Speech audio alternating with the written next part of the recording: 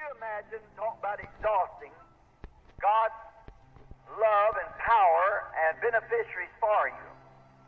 Could you imagine a little bitty fish about that long, way out here in the middle of the ocean, saying, now, wait a minute. I better consider this thing.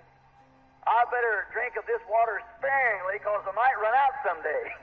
Poderia imaginar, falando sobre esgotar o amor e o poder de Deus e os beneficiários para vocês, poderia imaginar um peixinho pequenino, mais ou menos desse comprimento aqui, bem no meio do oceano, dizer: Agora esperem um minuto. É melhor eu considerar essa coisa. Melhor beber dessa água com moderação, porque posso esgotá-la algum dia.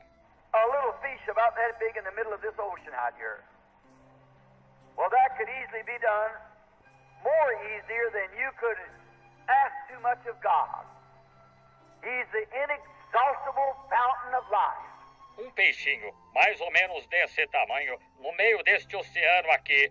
Bem, isso facilmente poderia acontecer. Mais facilmente do que poderia pedir demais a Deus. Ele é a fonte inesgotável de vida. Whatever you have need of, ask Him and believe it. He provided it in the redemptive blessings when He died at Calvary and gave a promise to you for everything you have need of while you're in the journey, and it's yours if you'll ask and believe? Tudo de que você precisar, peça a Ele e creia.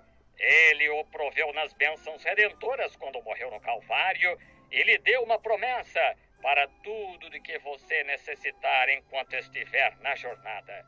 E é seu se você pedir e crer. Isso mesmo.